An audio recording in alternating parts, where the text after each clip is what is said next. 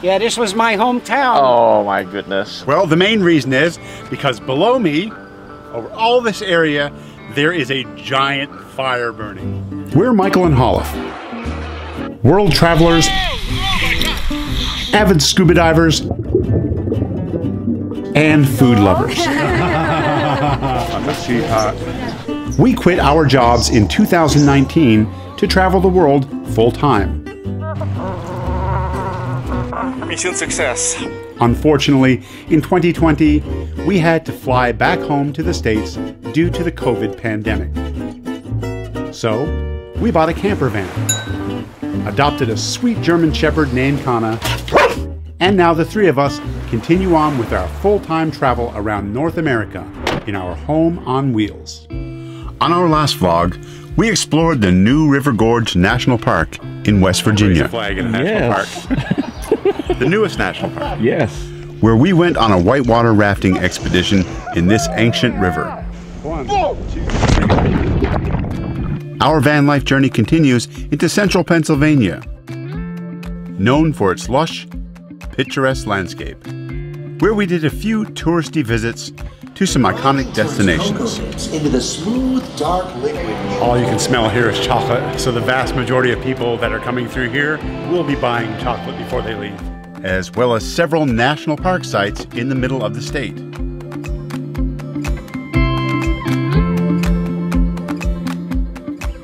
And of course, this is Scranton, Pennsylvania.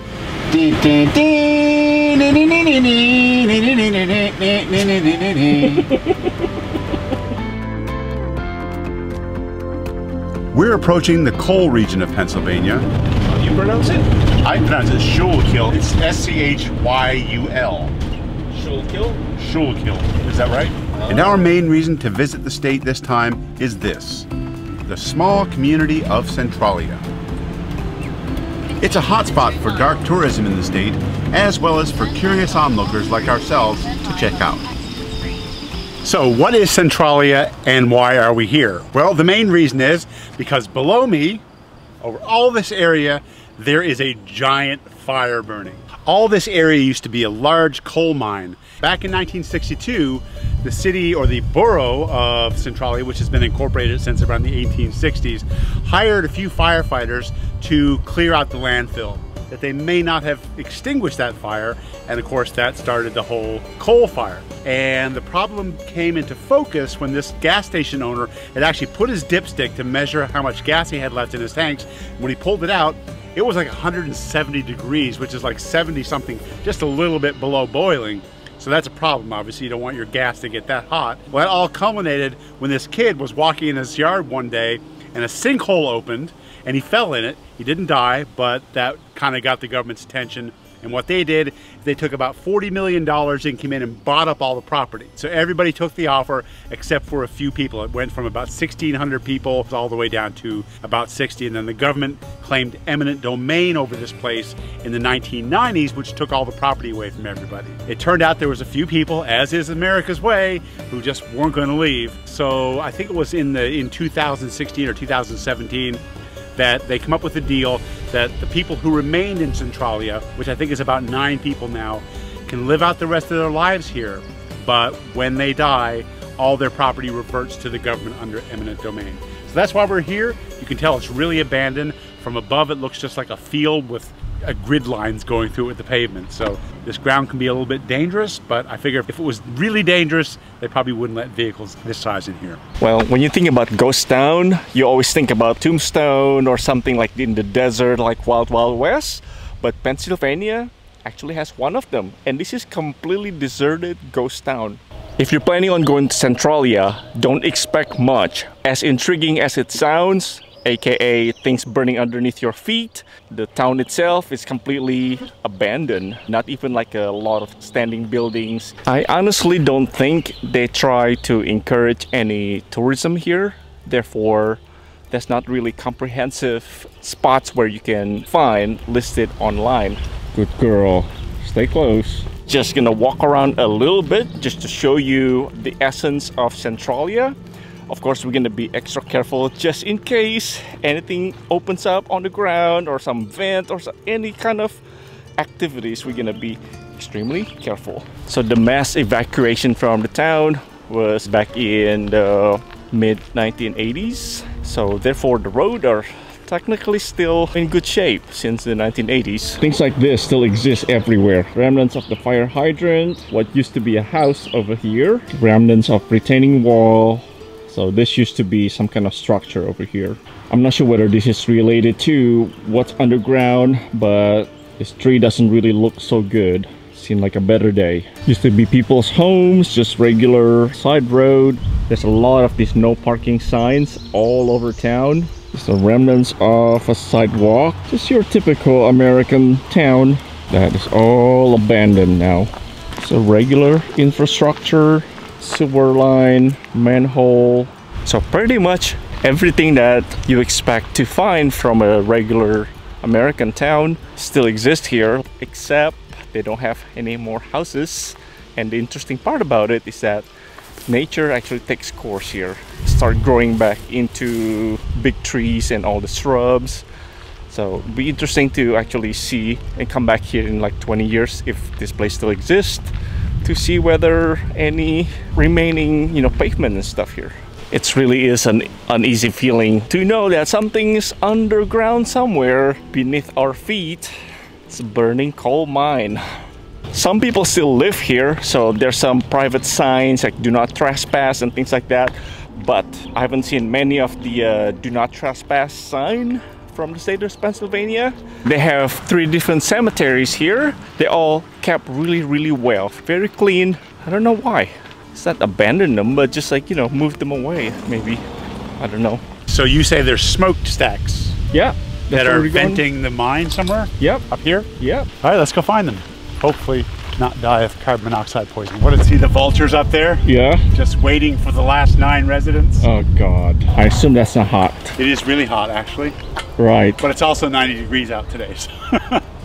but this is one of the original vents for the mine itself, and I guess it's probably still venting carbon monoxide and smoke from the fire, but doesn't look like to be venting much now, except for people's frustrations in their graffiti. It's really warm here today. Yeah. I don't know if it's kind of because of the coal mine heat or it's or the blazing sun. I think it's just the the heat wave that we have to go through here in But Central. speaking of heat, though, there is enough coal under this thing, under this abandoned town, apparently to burn for another 250 years. That's So- a long time, and of course, at that time, there will be nobody living here.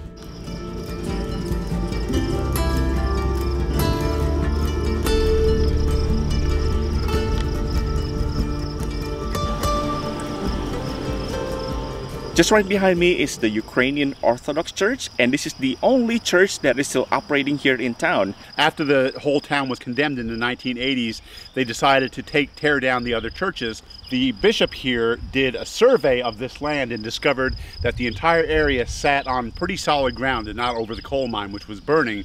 So they decided to keep it. This is an active church. This is a place where every Sunday worshipers come here for Mass. It has a graveyard behind it and the whole area is protected. In fact, there's no trespassing signs all over the place to let you know that this is a place for parishioners, their families, and invited guests, and anybody else that goes on the property is trespassing and will be prosecuted. But it is a beautiful church. I can see why they want to protect it. A lot of curiosity seekers like us up here, so they want to keep people from going in and trampling the ground and defacing the church. Beside us here in the van is the town municipal building, and apparently they still hold meetings there. I recall reading that one of the things that they talked about was how in debt the town was, and they had to actually pay a bill for $92, and that put the town in the black. So it's still running. It looks like there's a fire truck inside just in case one of the four or five buildings that still remains here goes up in flames, but otherwise, pretty sleepy place. there is a local highway here that was called Highway 61 that was part of the agreement between the government and the people who decided that they're going to stay to cover up because there was a lot of graffiti on it and I would imagine it was probably vulgar or something. So the locals filled that in so you can't see it anymore. And right now we are walking towards the old Route 61, which was abandoned because of the fire and whatnot. Used to be dubbed as the graffiti highway because a lot of people left a lot of marks on the road. Now completely covered, unfortunately. Here we go. Yep, it looks like this right now. Still remnants of the highway itself. It's not really covered. And of course, people are still coming here and they leave new marks. Well, it's not every day you're standing in the middle of an abandoned highway, but here we are. Although I don't think it is a long stretch of highway that got rerouted, still a lot of work. It's got to be a lot of work. The idea of covering this highway is that number one, to cover up some profanity that people left behind, and number two, just to encourage some kind of growth. Oop, you gotta be careful of the nature takes course of the human marks on the landscape. But it's absolutely interesting. I think this is a coal. Is it? No looks shiny. It's got to be a lot of dump trucks. A lot of work to bring all the dirt to cover up this highway. I'm not sure I'm gonna swim or even touch the water In the middle of our exploration, we met ah, this nice gentleman. And he told us a few interesting personal stories about his old hometown. Yeah, this was my hometown. oh my goodness where do you live now Then we had to ask about the burning itself. Where could we see the smoke here? Not this time of year. When it's cold out, there are some times that you can see steam come up out of the ground. Well, there you go. You have it. You can't really see the steam or anything. So, It was that way many years ago, but slowly but surely it's dying. I hope you have a nice day, sir. you too, sir. Thank you so much. So glad that we had the opportunity to talk to a local like this. What an interesting place to visit. I can imagine in like 50, 100 years from now, everything's gonna be like tall forest, and what you've seen today, it's gonna be completely different. Yeah, it's like I was saying earlier, it's in like an episode of Life After People, especially when you're, you know, looking at it from above, you just see this kind of grid layout with all this pavement going to nowhere.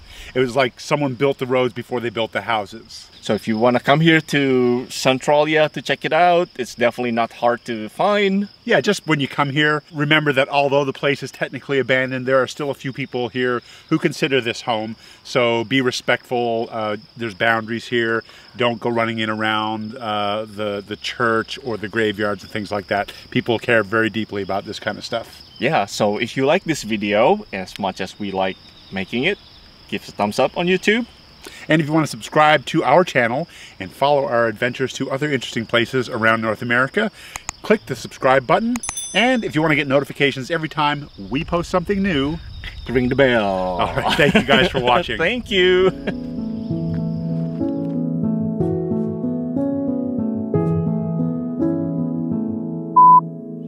Is it six or five? Five. It was one of originally six. Oh, kinda behind bar. Nope. She's actually just outside.